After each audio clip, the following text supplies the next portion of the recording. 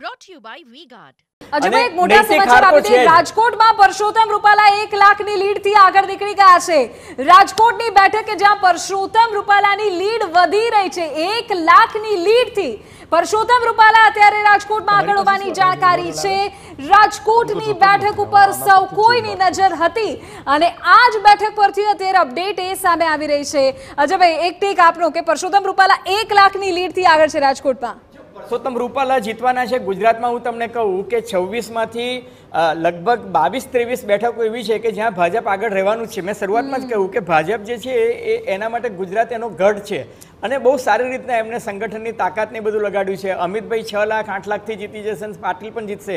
જે મહત્વની વાત એ છે કે ગુજરાતમાં ભાજપે ખાતું ખોલાવ્યું છે. અને આ લોકો દાવો કરતા હતા કે દરેક બેઠક પાંચ લાખની લીડથી જીતશું. આજે તમે જુઓ સાબરકાંઠા બનાસકાંઠા પાટણ આણંદ, આણંદ પણ હે?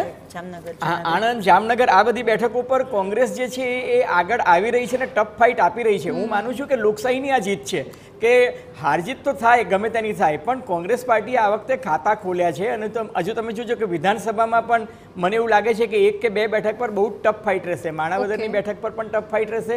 વિજાપુર અને ખંભાત. એનો અર્થ એ કે આ વખતે કોંગ્રેસ પાર્ટીએ કમબેક કર્યું છે. તમે વિચારો એકસો બ્યાસીમાંથી એકસો ને છપ્પન બેઠકો તમે હાર્યા હોવ અને તમારા સત્તરમાંથી બીજા પાંચ ધારાસભ્ય તોડી લીધા હોય અપક્ષોને તોડી લીધા હોય એ સ્થિતિમાં પાર્ટી નાસીપાસ થઈ જાય નિરાશ થઈ જાય અજંપો આવી જાય એની સામે લડી છે.